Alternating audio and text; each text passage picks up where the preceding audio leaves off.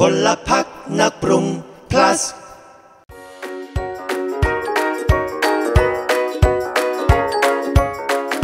แล้ววันนี้นะครับเราก็มี hot item มาแนะนำให้กับเพื่อนๆที่ชอบวาฟเฟิลเนื้อเบากรอบ กับทางเลือกที่สุดแสนง่ายสบายจริง ๆ ครับ กับแป้งวาฟเฟิลสำเร็จรูปแช่แข็งตราครีมสตูดิโอครับ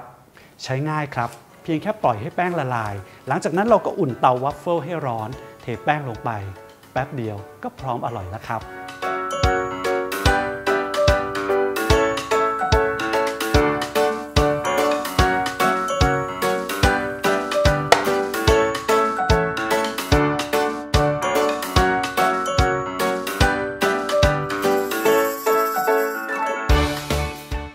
วาฟเฟิลสูตรนี้สามารถทานในรูปแบบหวานได้นะครับ ซึ่งในกล่องก็จะมีแถมซอสมาด้วยนะครับ ก็จะเป็น Dark Chocolate Sauce นะครับ หรือตัวนี้ครับ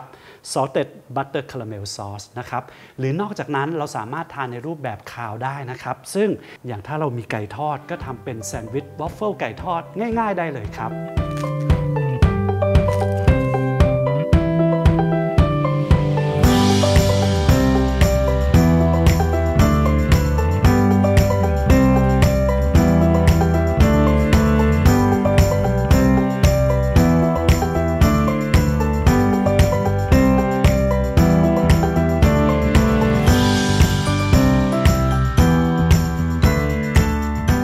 าสูตรนะครับ แล้วก็สามารถรับชมคลิปทำอาหารของเราย้อนหลังได้ที่ www.polfoodmafia.com ครับ และเพื่อให้ใกล้ชิดกันมากขึ้น เพื่อนๆ สามารถสื่อสารกับเราติชมรายการได้นะครับ ผ่านทางช่องทางโซเชียลมีเดียไม่ว่าจะเป็น Facebook YouTube IG